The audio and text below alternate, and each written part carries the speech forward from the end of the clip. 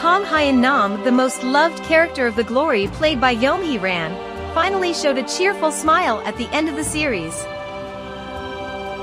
Recently, Yeom Hye Ran also took a set of photos for Elle Fashion magazine with smiles that couldn't be brighter, under the concept of Kang Hyeon Nam's vacation.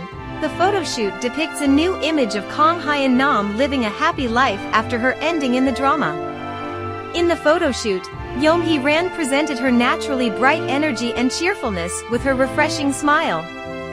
Her shining presence is expected to continue in Netflix's upcoming series Mask Girl, which is set to premiere in the third quarter of this year.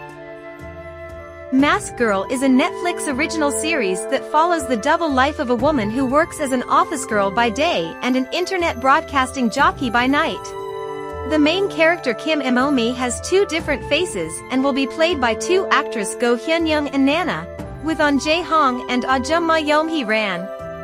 She covers her face with a mask due to her physical insecurities, getting swept up in an incident that will cause turbulence in her life. It is based on the webtoon, Mask Girl, and is predicted to be the next hot K-drama on Netflix.